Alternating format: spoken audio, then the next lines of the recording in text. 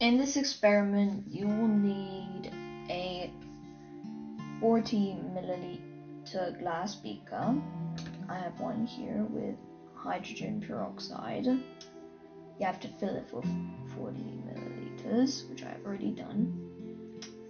And now I'm going to take my manganese 4 oxide. I'm gonna put one small spoon in.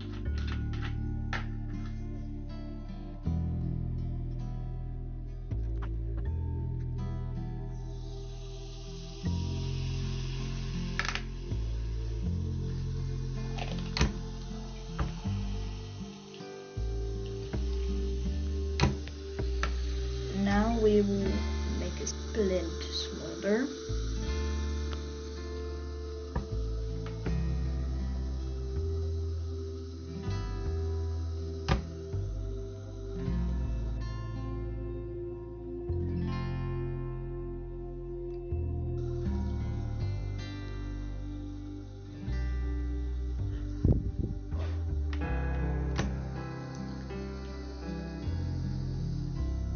We will insert the splint, the splint into the flask, but we won't touch it.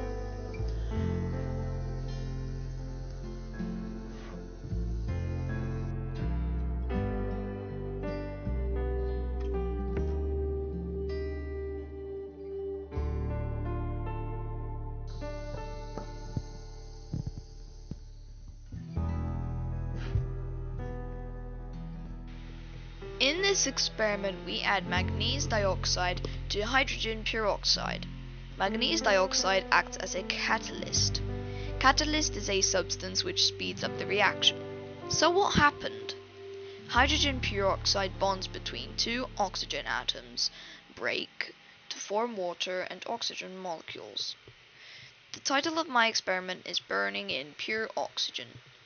To start a combustion reaction, you need three things oxygen, heat, and fuel. When I touched the flask, it was warm. Due to heat, pure oxygen, and flammable particles of splint, the combustion starts despite the fact that the flame on the splint was extinguished. I really enjoyed this experiment, and my favorite part was the amazing pop sound. Thank you for watching very, very much.